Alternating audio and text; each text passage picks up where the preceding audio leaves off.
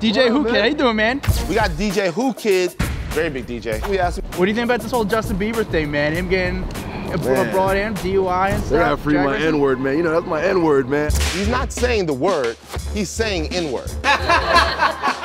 we didn't ask him about the Super Bowl and whether or not he'd be willing to DJ a party for the Super Bowl MVP. He goes, what? I do that for free. Would you do it for, for All the I want MVP? is red velvet cake. If they got red velvet cake, you know, it's called an N-word, red velvet cake.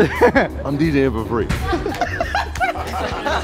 Are you are you suggesting that red velvet cake is a African American thing? Hell yeah.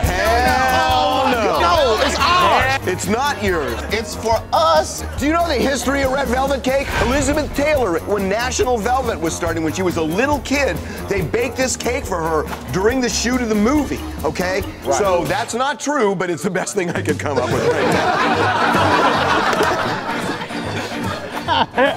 Later, bro.